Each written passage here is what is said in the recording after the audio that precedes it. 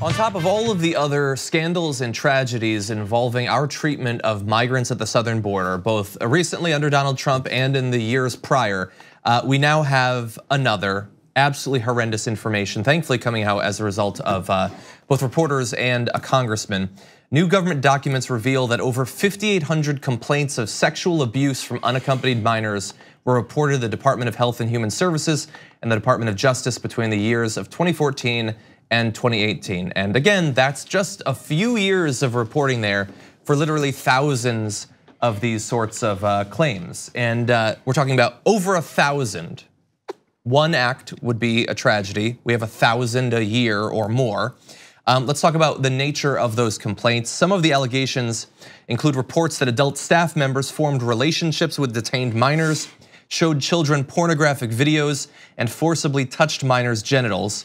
Investigations into the allegations often ended in the termination of the staff member, which certainly sounds like good news that there are consequences for this.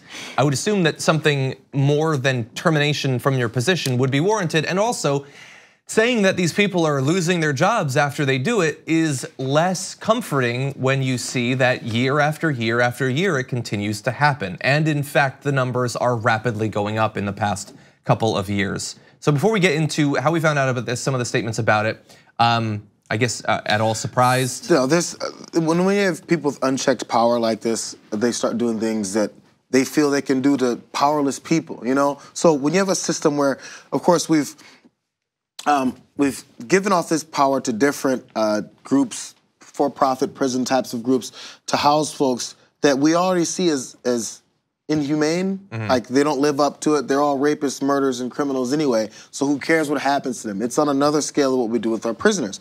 Because in our prison system, like, oh, those are those guys are criminals. Doesn't matter what happens to them now. They commit a crime now. They deserve whatever mm-hmm. happens to them there. So this is just this has been this has been spread to now this section where now children. Who cares what happens to them? We don't care about them. No one's going to do anything about them. Uh, the the administration is already separating them from their families at a at a wide scale so and no one's stopping them. So what is going to stop me from doing more that I want to do to them? Yeah. It's it's it's when you start with a certain mindset and attitude towards certain folks and it trickles to everyone who has any kind of power over those same people. Who cares? They're not real humans anyway. Yeah, yeah. The the adults are criminals, and the kids are trying to get one over on us. Um, they shouldn't yeah. be here. They don't belong here. Uh, look, I I hope that sort of position, when you're working in the actual facilities that are involved in either refugee resettlement or you know uh, temporary holding before going before uh, you know some sort of legal representative, um, probably attract some people who genuinely want to help this community. I'm sure. I wish that that was a very large percentage. I don't know that it is, but there are going to be people that want authority, as you say, unchecked. They want that. They want power over people, and and who both traditionally and especially recently has both less inherent rights and respect and consideration from the authorities than unaccompanied minor children. Um, and so you see that. So you can't be surprised that this sort of thing is happening.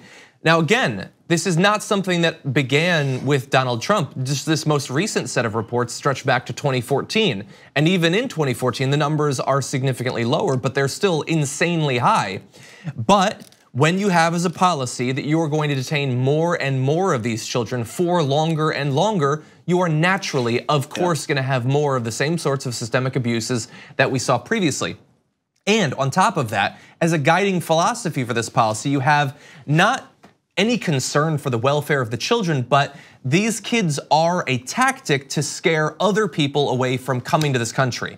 And as long as they're being held, as long as people know that that's likely to happen to their children, then that accomplishes the deterrence that we want. Doesn't matter how they're being treated. In fact, perversely, if they're being abused and victimized, that should be scarier for, for parents who are considering coming. So I'm not saying that that was a sort of conscious decision on the part of the authorities, but it's kind of a, a, side effect that certainly helps them in their mission to scare people from yeah. El Salvador if, and Guatemala and, and other countries from things, making that trip. If bad things happen to people, they're like, okay, not necessarily good, that's what we planned, as you pointed out. Just like, okay, maybe they'll think twice. The rest of them aren't here yet. They'll think twice about what may happen to their kids. Yeah.